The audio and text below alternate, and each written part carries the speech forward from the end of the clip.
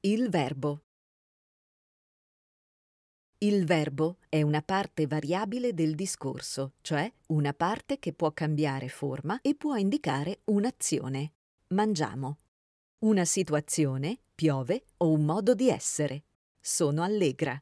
Ciascun verbo è formato da una parte fissa che contiene la radice, gioc, iamo, che racchiude il significato della parola, e da una parte variabile chiamata desinenza, gioc, iamo, che può cambiare e darci molte informazioni. Grazie alla desinenza possiamo capire da quale persona è compiuta o subita l'azione, in che modo è espressa, in che tempo è avvenuta e a che coniugazione appartiene il verbo. La persona può essere prima, seconda o terza e singolare o plurale. Ad esempio, dalla desinenza del verbo gioc iamo capiamo che l'azione è compiuta da un noi, cioè una prima persona plurale.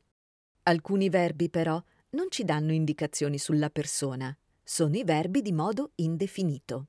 Ma che cos'è un modo verbale? I modi del verbo indicano il modo in cui si svolge un'azione o si verifica una situazione. Il modo indicativo indica un'azione certa. Io adesso gioco. Il modo congiuntivo un dubbio o una possibilità. Non è sicuro che oggi io giochi.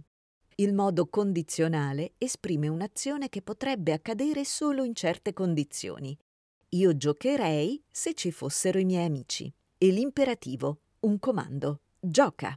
Questi modi sono detti finiti perché indicano sempre la persona che compie l'azione.